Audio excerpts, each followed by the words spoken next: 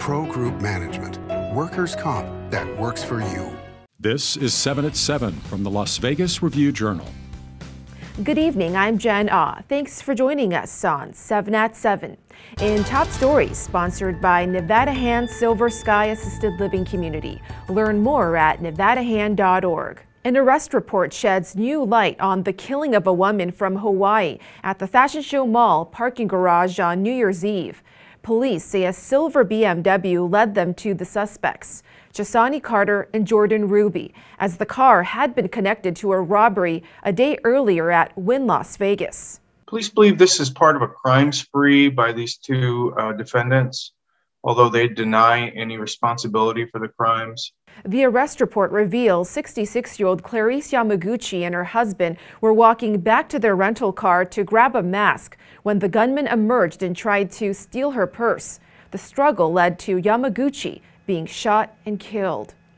In other news, the Raiders announced they're expecting Nate Hobbs to play Sunday night despite his DUI arrest calling it a legal matter.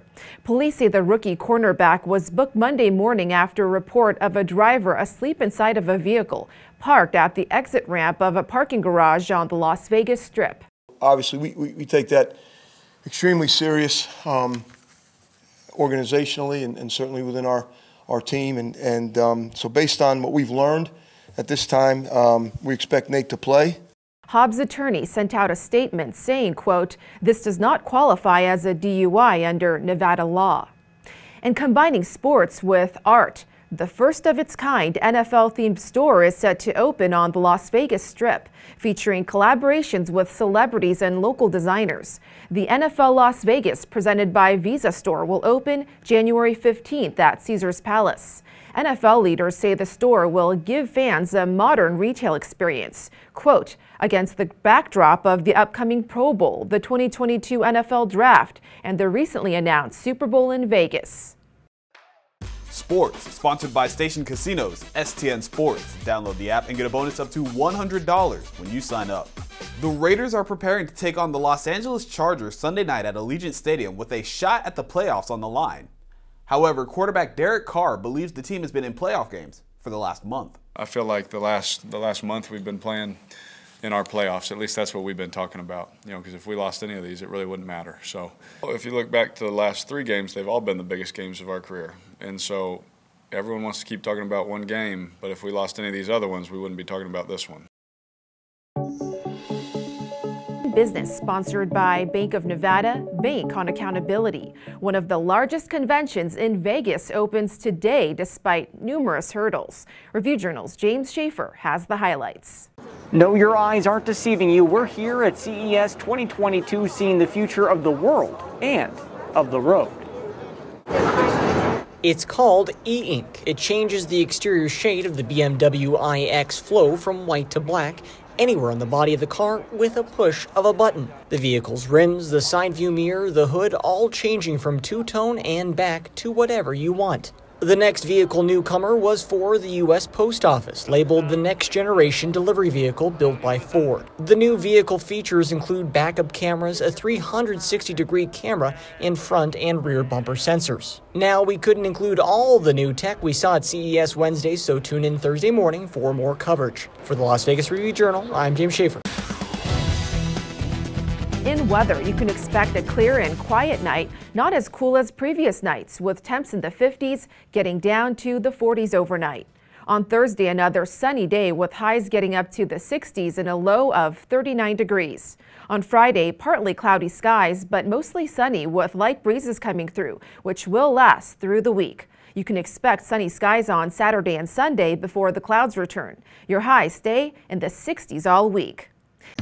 In Lifestyle, sponsored by Glittering Lights at Las Vegas Motor Speedway. Winter break is officially over as students return to school today. But as Review Journal's Renee Summerhour tells us, some parents are not exactly excited. Renee? Jen, an administrator from the CCSD Parents Facebook group page, says that she thinks parents are more anxious and have more questions about this reopening than even early last year. She said the Facebook group's members are divided, with some parents wanting schools to stay open for in person instruction and some in favor of at least temporarily returning to remote learning. We spoke with some parents today as they dropped off their kids about how they felt. COVID numbers are at the highest they've been since COVID, you know, started. You know, all these kids have been um, going to visit their families and you know, probably traveling. Well, they've been out of school for almost a year and a half since the COVID, so I think it's important for them to um, get the virtual learning in school, uh, the hands-on learning in school. Um, if all the parents would keep their kid at home when they notice a sign or a symptom. Now there is no COVID-19 vaccination requirement for students. The school district's online COVID-19 case dashboard shows over 7,000 cases among students and all staff. Jen? In response, the school district says it's working with health officials to protect students and staff through cleaning protocols, noting the mask mandate remains. Sports betting, sponsored by Las Vegas Paiute Tribal Smoke and Cigar Shop. College basketball conference play has begun. Gonzaga is the 6-1 favorite at the Westgate Superbook to win the NCAA tournament. Duke and Purdue are next at 7-1, followed by Kansas at 8-1. Defending national champion Baylor is 10 to 1 despite being undefeated and the unanimous number 1 ranked team in the AP poll. Kentucky, UCLA, and Texas are in the next group at 16 to 1. UNLV and UNR are 1,000 to 1. In health, for the next three weeks, most new COVID cases will be caused by the Omicron variant. That's the prediction from Las Vegas researchers. Eight or nine out of every 10 cases will be Omicron based on genetic analysis of local wastewater. Look at the huge spike on this chart and organizers are postponing the Grammys in Los Angeles indefinitely amid the COVID surge. Jon Batiste is the leading nominee, followed by Justin Bieber, Doja Cat, and Her. The show was scheduled for January 31st with live audiences and performances, but now it's all up in the air. In entertainment, sponsored by DiscoverNevada.com, brought to you by Travel Nevada. Don't call R&B artist Jason Derulo Usher. Review Journal's John Katsilometes explains. Well, we have already learned something in Las Vegas in 2022. What can happen if you yell Usher at Jason Derulo? You might touch off a fracas. This happened very early Tuesday morning or very late Monday night at Jewel nightclub at Aria. A couple of guys shouted Usher and some profanities at Derulo as he was coming off the escalators. Bedlam ensued, but nobody was arrested because the two guys involved in the incident didn't want to press charges, and Derulo walked. Hopefully we'll see him again, but on stage preferably. Thank you for watching 7 at 7. If you're watching from YouTube, don't forget to subscribe to the Review Journal's YouTube channel for more great content.